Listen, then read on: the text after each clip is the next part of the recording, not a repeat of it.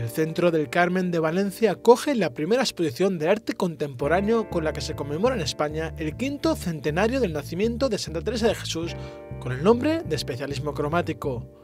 Organizada por la Consejería de Educación, Cultura y Deporte a través de la Fundación Jaume Segón el Just, la Dirección General de Cultura y el Consorcio de Museos de la Comunidad Valenciana. La exposición reúne 39 obras entre pinturas, esculturas, dibujos y fotografías de 37 artistas de la colección del IBAM, junto a los poemas de más de 40 autores de diferentes nacionalidades. La muestra está concebida como un diálogo entre texto imagen, poesía y pintura, poniendo en juego dos sistemas representativos y dos lenguajes artísticos diferentes pero complementarios. La consejera de Educación, Cultura y Deporte María José Catalá ha señalado que la exposición Especialismo Cromático es nuestra contribución valenciana a las distintas acciones que se están llevando a cabo a nivel nacional con motivo del quinto centenario del nacimiento de Santa Teresa de Jesús, uno de los máximos exponentes de la cultura y literatura española. Hemos querido poner en relación con, con la Santa una serie de obras plásticas de autores absolutamente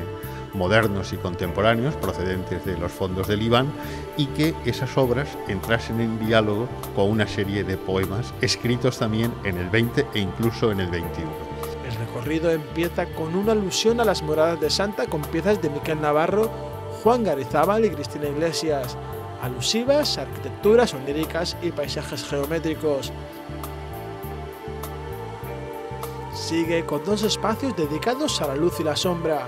y Vacío y Silencio,